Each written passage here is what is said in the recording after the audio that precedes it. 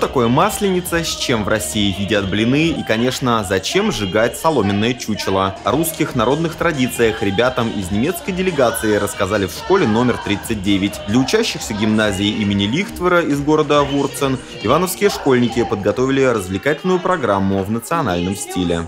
Э,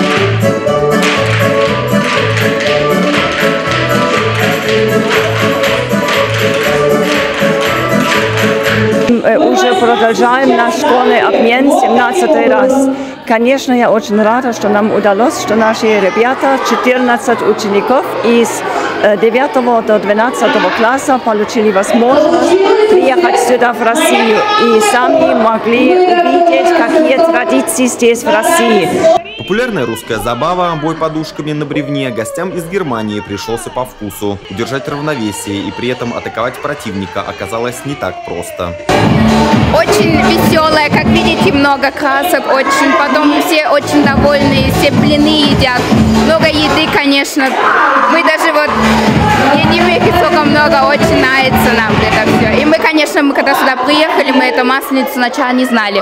Нас познакомили, мы такие, ого, классная, скажем, традиция у вас русских, да. И, конечно, мы рады, что мы сейчас попали на эту масленицу и с вами празднуем. Главное правило масленицы – не сидеть на месте, веселиться и, конечно, есть блины. Примечательно, что в Германии с этим блюдом тоже хорошо знакомы. Правда, в качестве начинки немцы предпочитают сахар или яблочный мусс.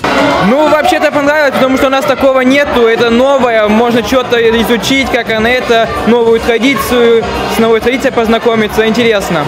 После долгих развлечений по традиции полагается подкрепиться. В школьной столовой ребят почивали блинами с вареньем, сгущенным молоком и сметаной.